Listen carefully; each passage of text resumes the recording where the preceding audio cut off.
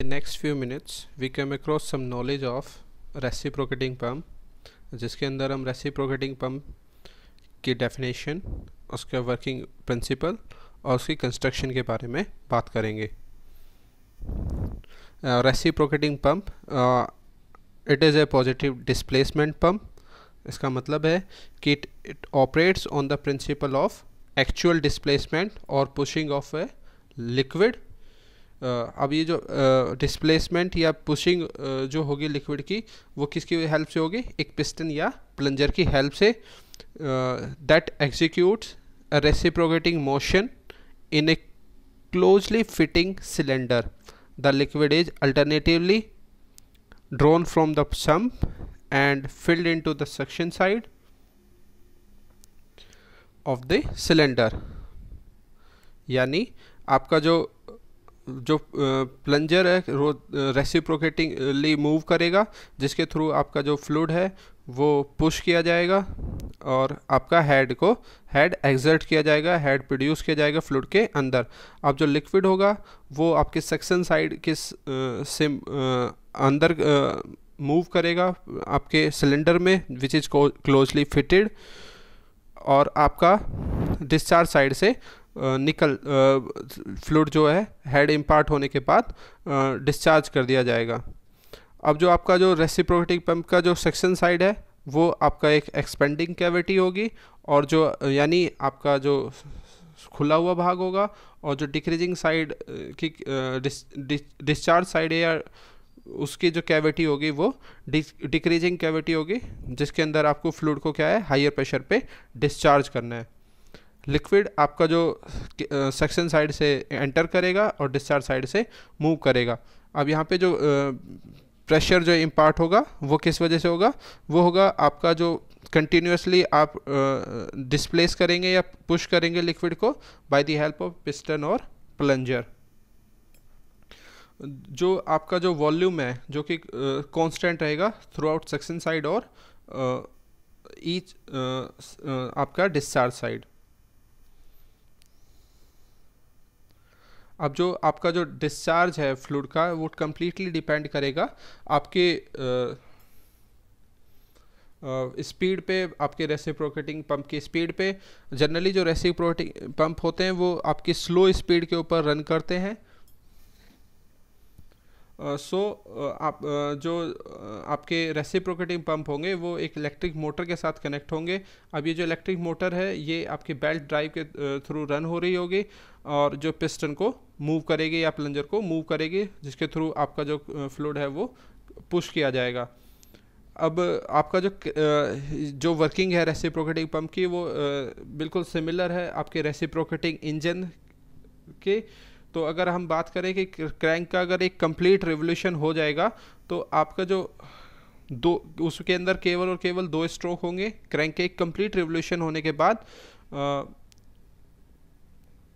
Uh, आपका one is suction stroke and the second one is delivery stroke. अगर हम classification uh, की बात करें या uh, इनको दो पार्ट में डिवाइड किया गया है one is single acting and second one is double acting pump. अगर हम, अब अब हम देखते हैं कि वर्किंग किस तरीके से आपके रेसिप्रोकेटिंग पंप की। From this side fluid will enter this side is known as suction side इस केस में क्या होगा? आपका जो आउटलेट वाल है that will be closed when section is done इधर से आपका इस साइड से सेक्शन साइड से फ्लूड एंटर करेगा। उस समय डिलीवरी वाल्व बंद होगा और सेक्शन वाल्व खुला होगा। फ्लूड एंटर करेगा then piston will move from right to left which increase the pressure on fluid जब then when the piston move from inner dead to top dead centre आपका जो delivery valve है that will be open and section valve at that time will be close so इस, जब piston इस position में होगा, यहाँ पर होगा then the fluid will discharge through this discharge section अब ये आपका दैट विल बी दोर्स जहाँ पे आपको फ्लूड को यूज़ करना है।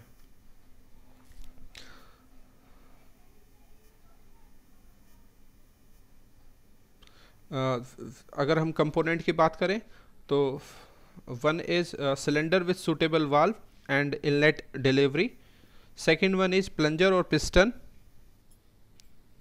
दैट रेसिप्रोकेट यानी आपका बैकवर्ड और फॉरवर्ड मोशन होती है uh, जो कि एक सिलेंडर के अंदर फिट होंगे। Third part is connecting rod and crank mechanism uh, this is a connecting rod and crank mechanism fourth part is a section pipe with one way valve यानी जो वाल होगा वो आपका क्या होगा वन वे साइड ओपन होगा this is a working of a reciprocating pump and this is a delivery pipe ना जो एक्शन है, हमने पहले भी बात किया था कि रेसिप्रोकेटिंग इंजन की तरह सिमिलर है।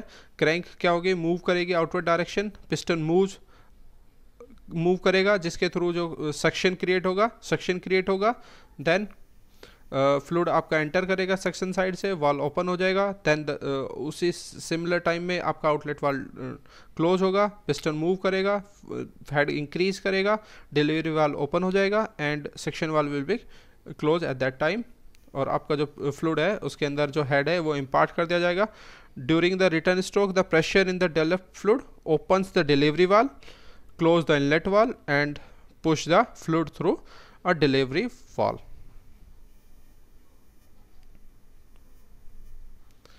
next uh, come across with the category of uh, reciprocating pump. Uh, there are the two uh, type of uh, reciprocating pump. One is a single acting pump and second one is double acting reciprocating pump. If uh, अगर हम बात करें single acting क्या है तो single acting क्या है? अगर प्लंजर के केवल एक साइड में आपका फ्लूड कांटेक्ट में आ रहा है then it is known as a single acting pump which is shown here यहाँ पे क्या है? आपका जो फ्लूड है प्लंजर की केवल एक साइड में वर्क कर रहा है so this is known as a single acting pump तो इसके अंदर क्या होगा? केवल एक सक्शन पाइप होगा और एक डिलीवरी पाइप होगा। So this is known as a single acting pump next is a double acting pump double acting pump में क्या होगा? डबल एक्टिंग पंप में आपका जो फ्लूड होगा वो प्लंजर के दोनों साइड एक्ट करेगा। देन uh, सो so, इसलिए हम इसको डबल एक्टिंग पंप बोल रहे हैं तो प्लंजर के दोनों साइड आपका फ्लूड मूव कर रहा है। अब क्योंकि दोनों साइड मूव कर रहा है then it will have two section pipe and two delivery pipe so each stroke आपका जो सेक्शन प्ले सेक्शन भी होगा और उसी समय uh, आपका डिस्चार्ज भी होगा जो कि आप इस फिगर uh, के थ्रू ऑब्ज़र्व कर सकते हैं कि एक समय पे जब आपका सेक्शन हो रहा है then the second section then the in the second series of pipe आपका डिस्चार्ज हो रहा होगा। जब दूस, पहले वाले केस में आपका डिस्चार्ज हो रहा होगा देन सिमिलर टाइम पे आपका सक्शन हो रहा होगा। Thank you